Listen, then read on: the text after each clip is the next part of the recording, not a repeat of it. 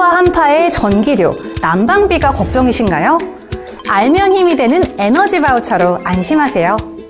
에너지 바우처란 에너지 취약계층에 계신 분들께 전기, 도시가스를 비롯해 지역난방, 등유, LPG, 연탄을 지원해드리는 제도입니다. 그렇다면 어떤 분들께 혜택을 드리는 걸까요? 기초생활보장법에 따른 생계, 의료, 주거, 교육급여 수급자 중 노인, 장애인, 영유아, 질환자, 한부모 가족, 그리고 가정 위탁 보호 아동을 포함한 소년, 소녀 가정이 있는 세대라면 지원받을 수 있습니다.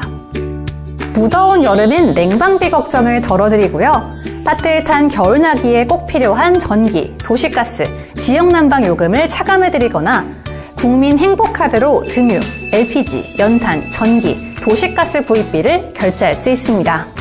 에너지 바우처 신청은 주민등록상 거주지의 행정복지센터를 방문 또는 전화로 신청하시거나 복지로를 통해 온라인 신청도 가능합니다. 특히 여름과 겨울 각 계절마다 지원 기간이 따로 정해져 있으니 지원 기간 확인은 필수. 여기서 꿀팁 하나.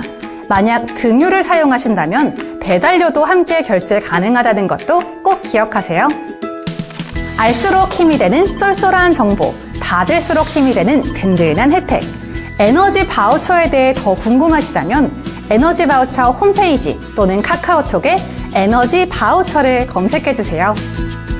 에너지 바우처로 여름은 시원하고 겨울은 따뜻하게. 에너지 취약계층을 위한 에너지 바우처 지원 제도는 산업통상자원부와 한국에너지공단이 함께합니다.